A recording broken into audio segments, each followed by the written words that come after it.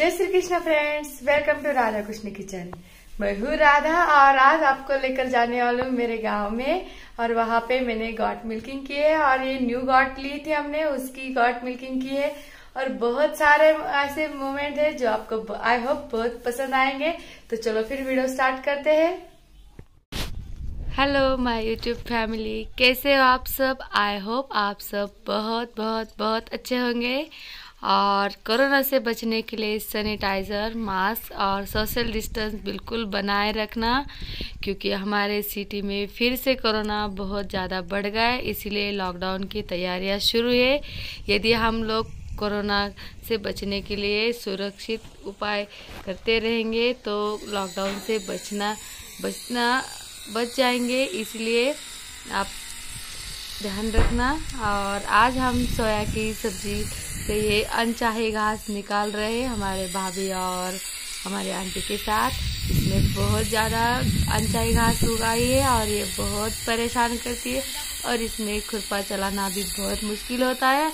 आप करीब से देखो ये कितने छोटे छोटे नाजुक से है और इसमें काम करना बहुत हार्ड होता है। फिर भी ये करना पड़ता है क्योंकि ये यदि इसे नहीं निकाला तो ये बहुत ज़्यादा फैल जाएगा। और फिर हमारे सोया की सब्ज़ी को खराब कर देगा। और उसके बाद हमें ये न्यू गॉट ली थी हमने। हमने आपको बताया था कि इसका मिल्किंग हम दिखाएँगे, लेकिन ये बहुत टेढ़ी गॉट मिली हमें। वो दिखने को तो बहुत स्मार्ट है, अच्छी है, उसके बच्चे भी बहुत प्यारे हैं, लेकिन इसके हरकतें बहुत शैतानी है। और इसे मिल्किंग करना इसकी मतलब नाक में दम कर देती है। और सबके साथ इसे मिल्किंग नहीं कर सकते, क्योंकि ये करने ही नहीं देती। इसीलिए इसको मैं यहाँ से दूसरी ओर लेके जा रही हूँ। और यहाँ पे हमने दाल सुखाने के लिए डाली थी धूप में। और देखो, उसी पे ताव मार रही है। फिर बार बार उसे वहाँ से लेकर जाने की कोशिश कर रही थी मैं। फिर भी वो मुझे यही यहाँ वहाँ घुमा रही थी। और ये सबको बहुत परेशान करती है। और ये पहले मालिक से पूछा हमने तो वो भी इसी तरह से बोल रहा था कि ये ऐसी थी, इसीलिए हमने भेज दी, अब आप आप ही इसे ठीक कर दो। तो कोई बात नहीं, हम इसे संभाल लेंगे अच्छे से। और अभी इसको लेकर जा रहे हैं वहाँ पे, पेड़ के नीचे इसे बाँध कर फिर इसकी मिल्किंग करेंगे। लेकिन ये आ ही नहीं रही थी, देखो कैसे घुमा रही है, मुझे तो लग रहा, डर लग रहा था कि ये कहीं मुझे रस्सी में लपेट कर गिरा ना दे। और फिर उसके बच्चे को भी छोड़ा हमने, क्योंकि वो जब साथ होते हैं तो अच्छे रहते हैं, नहीं तो बहुत चिल्लाते हैं वो भी। और ये छोटू भी आ गया फिर पीछे पीछे मेरे, और यहाँ पे सब अभी छुट्टियाँ है तो सब बच्चे बहुत ज़्यादा खेलते हैं और आपस में। और यहाँ पे इसे बाँध कर फिर आप मिल्किंग स्टार्ट करेंगे, लेकिन ये मिल्किंग इतनी आसानी से करने नहीं देगी, मुझे पहले से पता है और अब मैंने भी इसका पैर पकड़ लिया अभी अभी मिल्किंग करेंगे स्टार्ट और आप रियल मिल्किंग की साउंड सुनिए।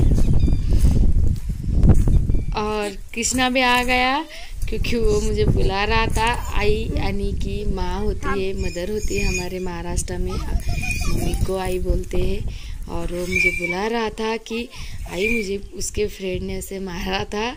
तो उसे डांटने के लिए चलो तुम और प्रॉब्लम को सॉल्व करो। तो बच्चे खेलते हैं तो छोटी छोटी सी बातें पर अनबन हो जाती है और फिर बड़ों के साथ मिलके उसे सॉल्व कर देते हैं। फिर से वो दोस्त बन जाते हैं।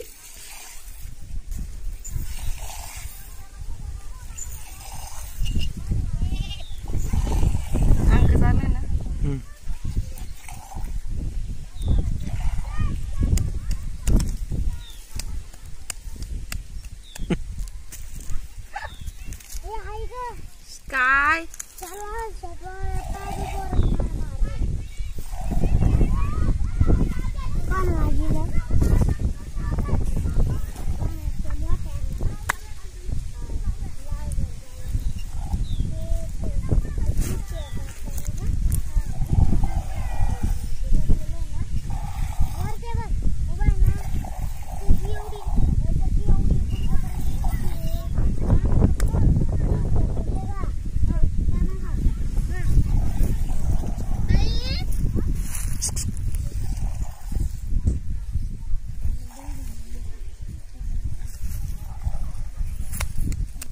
और थोड़ी सी मिल्किंग करने के बाद देखो, इसने दूध चुरा लिया और ये इतनी आड़ियल है कि ये अपने बच्चों को भी पीने नहीं देती।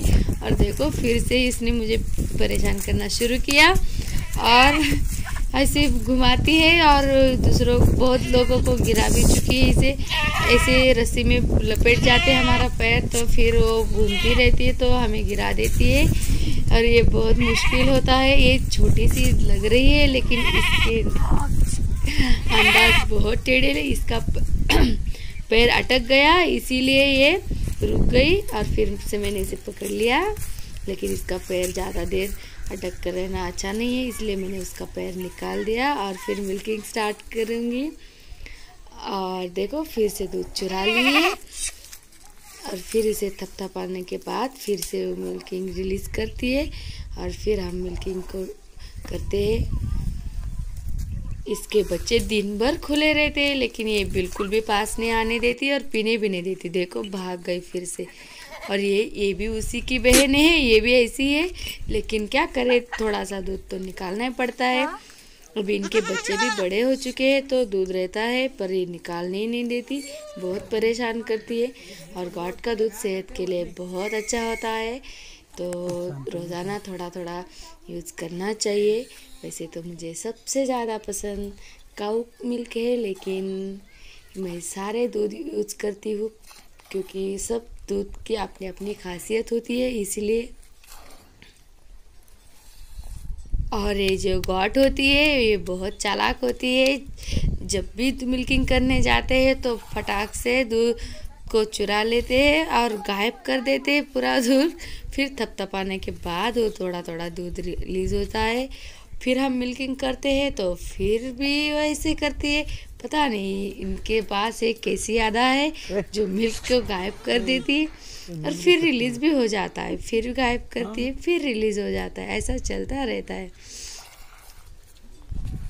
और मुझे बहुत सारे कमेंट आए थे कि सर्जिकल ग्लोज यूज़ करके मिल्किंग करो तो इसलिए आज सर्जिकल ग्लोज यूज़ करके मैंने मिल्किंग की है और पर हमारा छोटू भी आ गया है और ये बहुत उसको जब भी मैं जहाँ भी रहती हूँ पीछे पीछे आ जाता है बहुत प्यारा सा क्यूट सा है और इतना छोटा सा हो गया सब बच्चों का डॉन है ये बिल्कुल।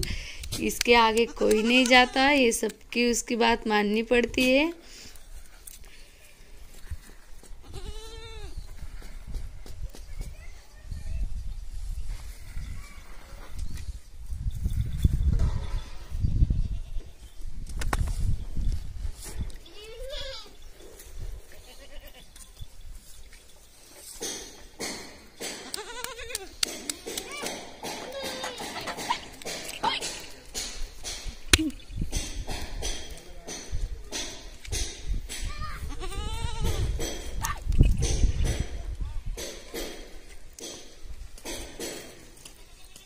और इससे के नखरे झेलते हुए मैंने इसकी मिल्किंग कर ली और अभी उसको वहाँ पेड़ से फिर से यहाँ पर लाकर लाना होगा क्योंकि उसकी जगह यही है लेकिन वो एक साथ लो सब गॉड के साथ मिल्किंग करने नहीं देती इसलिए उसको साइड में लेके गए थे।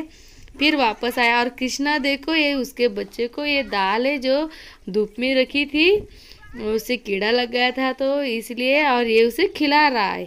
देखो कैसे बच्चे होते हैं ना, उसे बिल्कुल भी समझ में नहीं आता। वो खा रही है तो खाने दे रहा है। फिर भाभी वो सब दौड़ के आया और उसे साइड में रख देंगे अभी। और अभी इसको बाँध देते हैं उसकी जगह पे।